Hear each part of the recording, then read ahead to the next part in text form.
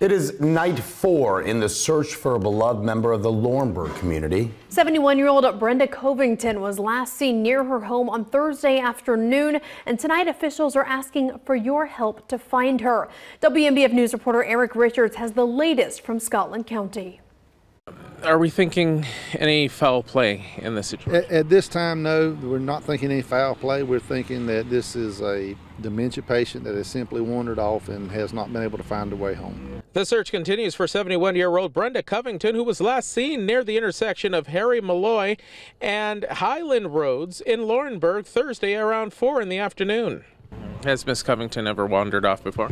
There is a history uh, very recently of her wandering somewhere nearby our house, but nothing uh, to this extent. Which is why her family is desperately trying to find her. Spoke with one of the relatives yesterday, uh, and they're worried. Uh, I guess as we all would be, and, and, that's why I'm here. Around 200 volunteers have been out searching. We utilize a, a search methodology that uh, deploys grid searches. Uh, we rely on our local resources and outside partners. Along with neighbors, especially those living in the area Miss Covington was last seen.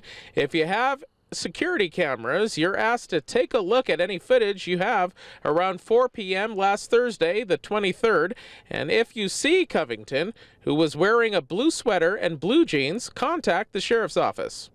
In the meantime, the community is praying a staple of the Laurinburg community is found safe and sound.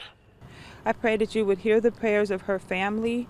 I know that your eyes are high and they look low. I mean, it could be my grandmother or anyone's grandmother in the community. I think um, as a member of this community, we should always be concerned and care about what's going on with our elderly. Miss Covington stands five foot six at 150 pounds. If you have any information on her whereabouts, you're asked to call the Scotland County Sheriff's Office. In Scotland County, Eric Richards, WMBF News.